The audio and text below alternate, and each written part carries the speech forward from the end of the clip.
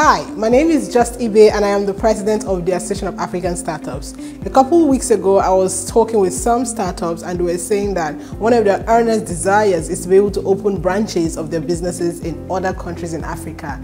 And that literally made my heart jump with joy because that truly is one of the reasons why Africa, we must come together to build the African continent.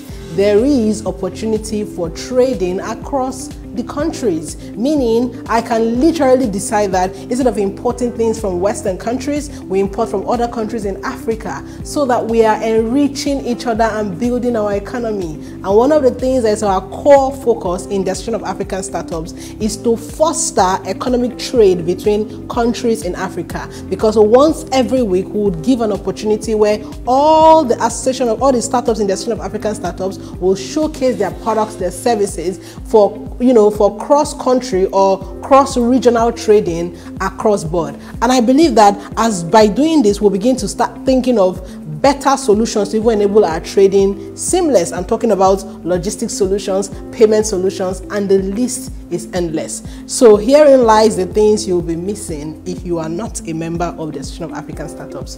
Do not forget, as long as your business is between 0 to 10 years, you are eligible to become a member.